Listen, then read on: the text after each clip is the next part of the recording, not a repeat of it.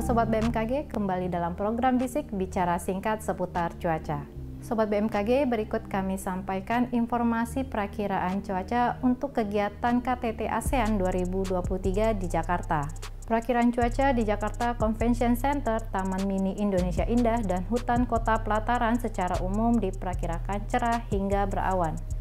Berdasarkan perakiraan cuaca berbasis dampak hujan lebat di Indonesia, wilayah yang berpotensi terjadi bencana hidrometeorologi seperti banjir, banjir bandang, dan tanah longsor yang berlaku untuk tanggal 3 September 2023 dengan status waspada berpotensi terjadi di wilayah Aceh, Sumatera Utara, Sumatera Barat, Kalimantan Utara, Maluku Utara, Papua Barat, dan Papua.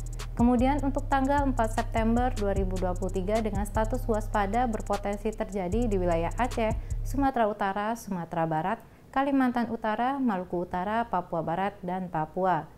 Karena itu kami himbau kepada Sobat BMKG untuk waspada jika Sobat beraktivitas di luar rumah dan perbaharui terus informasi cuaca.